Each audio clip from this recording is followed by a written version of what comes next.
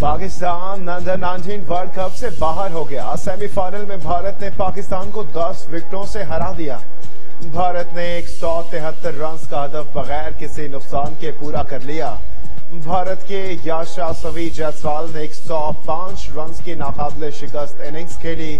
پاکستان کی جانب سے روہت نذیر باسٹھ، حیدر علی چھپن اور محمد حارث نے اکیس رنز بنائے۔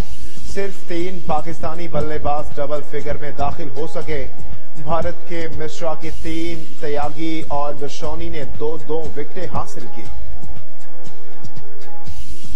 قومی اسمبلی میں کشمیریوں سے اظہاری یکجہتی کے لیے قرارداد متفقہ طور پر منظور۔ چیئرمین کشمیر کمیٹی سید فخر امام نے قرارداد پیش کی۔ کشمیری عوام اور رہنماؤں پر مظالم قابل مذمت، مقبوضہ کشمیر میں بھارتی اقدامات خطے کے لیے خطرہ ہیں۔ کشمیری قیادت مقبوضہ کشمیر میں دردناک صورتحال کا سامنا کر رہی ہے، قرارداد کا متن۔